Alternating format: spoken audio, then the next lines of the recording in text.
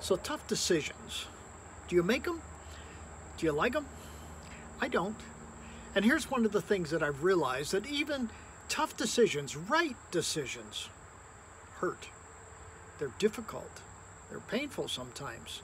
And even though we may know it's the right decision that we need to make, it may cost us. And we have to understand that part of decision making is paying the cost of the decision. Today we had to put down our Jack Russell, Abby. It was a tough decision, one that I did not want to make and one that I did not look forward to. But do you know what? If I loved her as I said I loved her, then I needed to do some things for her. And it was hard.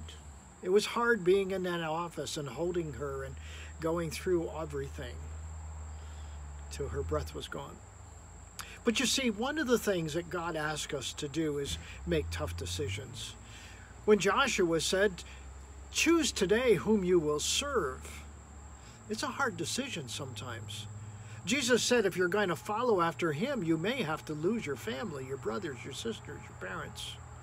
It's tough decisions that he's called us to. And sometimes we don't want to make them because they are so tough. They are hard. They are difficult. And yet, and yet we need to. I realize that in making decisions, there's a lot of, well, there's a lot of thought that goes into them. I don't think you should enter into any hard decision lightly. But still, we have to deal with the outcome of those decisions, don't we? We have to deal with the fallout of what that decision is going to create, even when it's the right one to do. And sometimes people don't want to make the decision. They don't want it because they don't want to hurt others. They don't want anger. They don't want disappointment in other people. And yet, and yet if we don't make those decisions, sometimes we create more suffering. We create more hardship. We create more difficulty. I think in following after God, when he says to follow after him and don't look back, put your hand to the plow, look forward. You have to do so with your eyes open, with the understanding of the cost.